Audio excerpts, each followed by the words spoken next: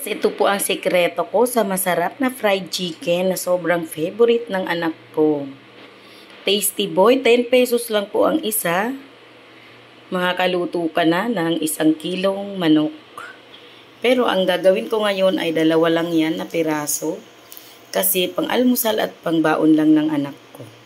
So ikot mo lang siya nitong Tasty Boy All-Purpose Breading Mix wala nang marinate-marinate. Masarap na po. At sure ako na magugustuhan siya ng inyong mga anak. Ayan, tasty po. Magpainit ka ng mantika. Kailangan deep fry para talagang maganda at masarap ang ating chicken. Kailangan mainit na mainit na talaga yung mantika bago ilagay. So, ito na yung manok.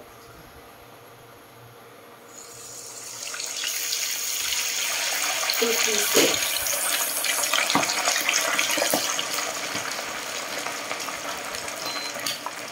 Yan. Dalawang piraso para sa almusal at baon. Isang almusal at isang baon. Diba? Tapos, naka 800 ang heat ng ating induction cooker.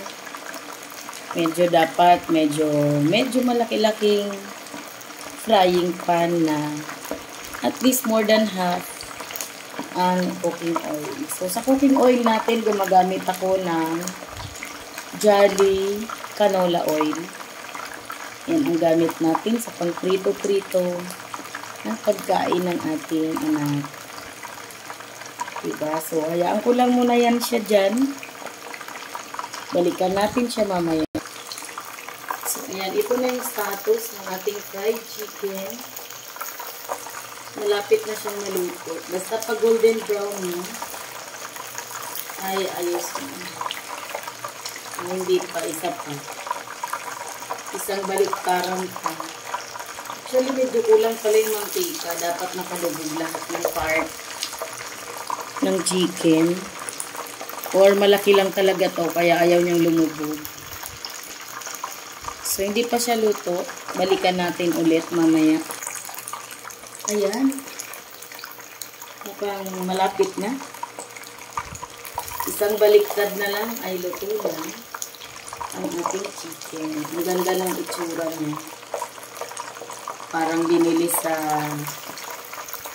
Jollibee.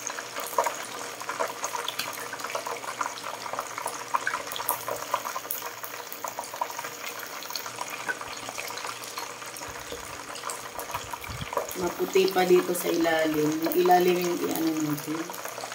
I-brown natin para masarap.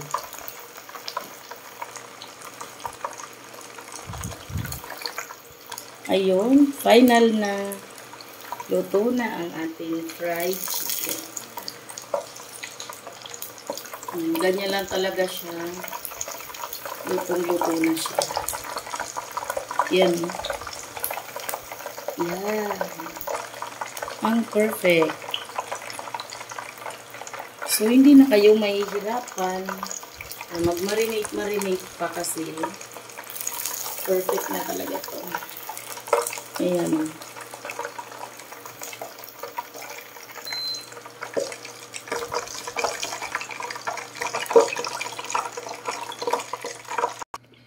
Ayan na po ang ating finished product.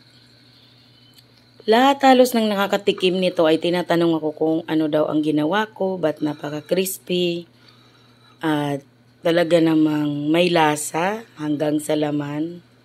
So, yun lang po ang sikreto ko. Hanggang dito na lang po muna tayo. Thank you so much.